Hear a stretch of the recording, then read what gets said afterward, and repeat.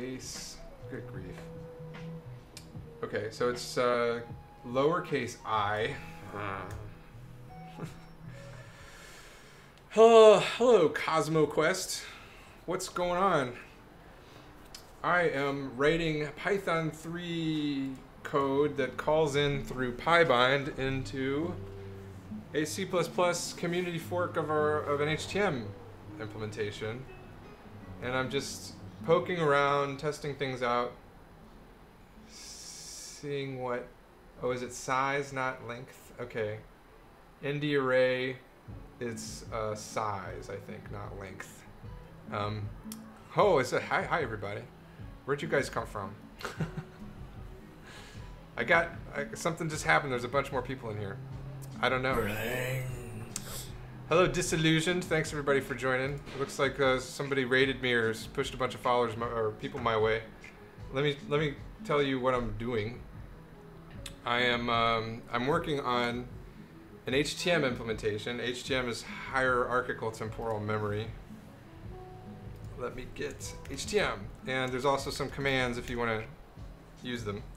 Um, but we've got a C++ implementation of HTM, and I was, I'm not a C++ person. I'm, I'm a Python 2. I know Python 2, and we're trying to make sure that we have, we have executable Python 3 that can invoke this code in here through PyBind. And I'm finding that a lot of this work has already been done by excellent people in our community, like uh, Breznak, for example.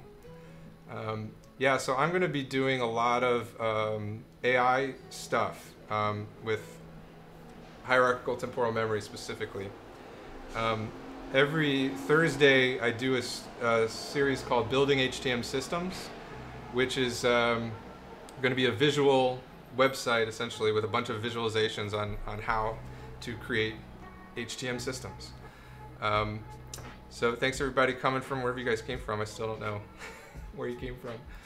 Uh, oh wait, I can tell from the sticker, right? Cos Cosmo Quest is the, is that where you guys came from?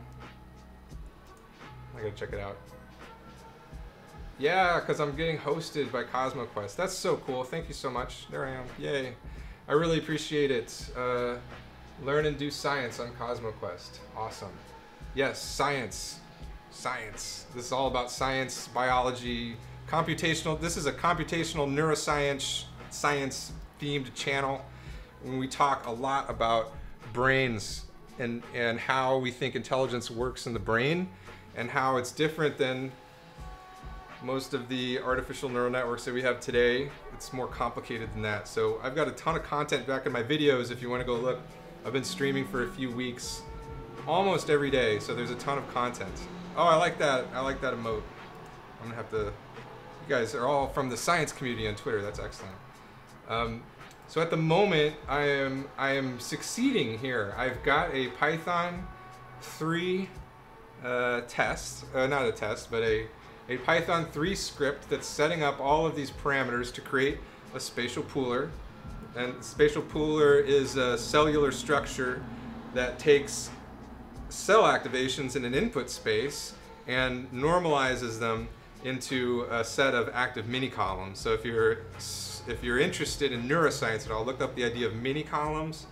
Um, and this is what the spatial pooler is simulating. It's, it, it's a, a, pooling operation that's happening in several layers of your neocortex, um, definitely in 2, 3, and most likely in other places um, where these inhibitive cells cause mini columns structures to occur now I'm, now I'm just going off and, and, talking about the science. But they cause these mini column structures to occur in, in your cortex.